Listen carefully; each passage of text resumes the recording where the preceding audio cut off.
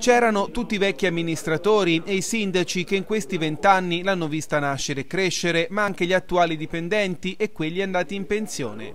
È stata una cerimonia sobria ma molto sentita, quella organizzata a Palazzo Bernardini per festeggiare i vent'anni della GEAL, l'azienda che gestisce il servizio idrico a Lucca azienda sana ed efficiente, hanno sottolineato le istituzioni chiamate a parlare, l'esempio migliore di un'impresa pubblica partecipata. E per il futuro, ha annunciato il presidente Giulio Sensi, ci sono progetti importanti. Negli ultimi vent'anni abbiamo fatto 40 milioni di euro di investimenti, per i prossimi dieci anni abbiamo messo nel piano 44 eh, milioni di euro. Eh, riusciremo a farlo grazie al fatto che oggi le tariffe coprono anche gli investimenti, grazie al fatto che GEAL insieme all'amministrazione comunale ha messo in priorità come intervento prioritario diciamo, la risposta all'infrastrutturazione del territorio che manca, che è quella appunto della copertura fognale in alcune, in alcune zone. Detto questo continuiamo a investire ancora ancora nell'acquedotto, l'acqua è un bene di Lucca, un bene importantissimo, un bene di cui Lucca è, è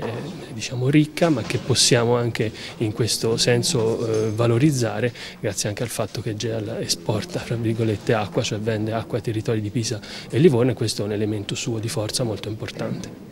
Attualmente i lavori stanno procedendo sulla via Morianese a Vicopelago e a Saltocchio. Nei prossimi cinque anni saranno 15 i milioni investiti, con priorità sull'oltreserchio, il prolungamento di via per Sant'Alessio e il collegamento Nozzano-Pontetetto.